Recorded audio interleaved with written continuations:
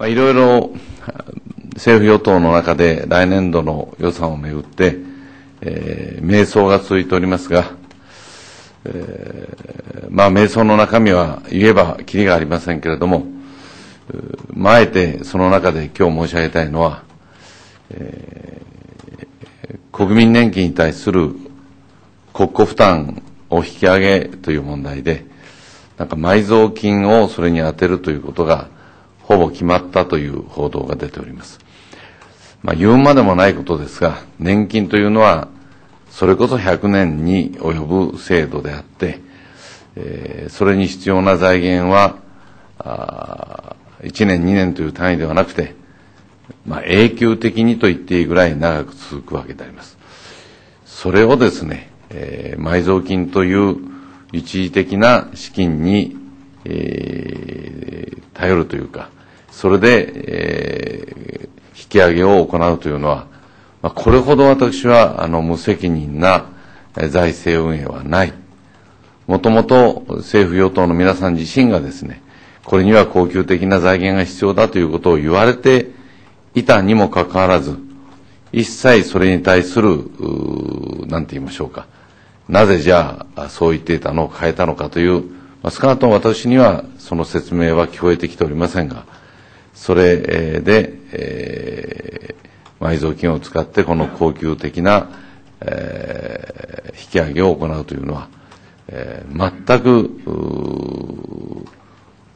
まあ、許せないというのか、筋が悪いというのかですね、えー、もってのほかの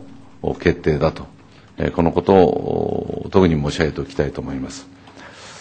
まあ、そこで、あの、国会は、まあ、我が党の法案を出して、えー、いくわけですが、まあ、私は与党の皆さんにですね、えー、自分たちが二次補正を、まあ、出さなかったわけでありますから、まあ、ある意味ではその代わりにもですね、我が党の法案について、えー、成立させるように協力をしてもらいたい。もっと言い方を変えれば協力をされるべきではないか。え国民は来年の1月まで待っていいと思っている人は誰もいません。え一日も早く対策を打ってくれということがありますので、一日も早い対策を打つためにもですね、え我が党の来週早々に出す法案の成立に、え協力すべきだと思っております。まあ、特にいくつかの中身がありますけれども、えー特別措置法、その5つのの中身には、非正規雇用者も、この雇用調整助成金を使ってですね、えー、解雇しないでも、まあ、あの、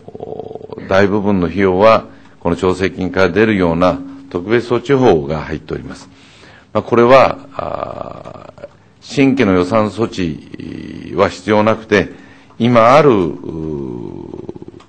この雇用調整のお金を使うわけでありますので、えー、しかも、法案が通れば、早急に施行するという形で、まあ、急げばですね、今年中にも、動ける制度でありますので、えー、こういったことについてはですね、えー、単に、えー、サボタージュをして、えー、いる今の麻生内閣でありますが、えー、サボタージュだけでなくて我が党のそうした法案をまさに妨害して阻止するのではなくて、自分たちがやれないことを民主党が